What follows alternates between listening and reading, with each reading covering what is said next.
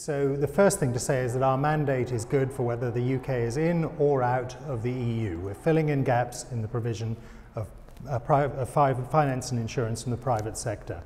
In terms of helping British companies to find opportunities abroad, uh, we have the ability to convene British companies together to address very large projects in particular. So we will bring a project sponsor from Egypt who has a petrochemical plant to build into the UK we will have their, our um, offer of finance, their procurement contractor, all in one room with 200 UK export-ready companies who can hear about a real opportunity from the sponsor, hear that they'll get paid and can build up working capital by, by the UK government, and talk to the procurement contractor about the specification of the goods and services that are needed for the opportunity. So we're doing this, we can really help to, uh, to introduce uh, British exporters to new opportunities abroad. Música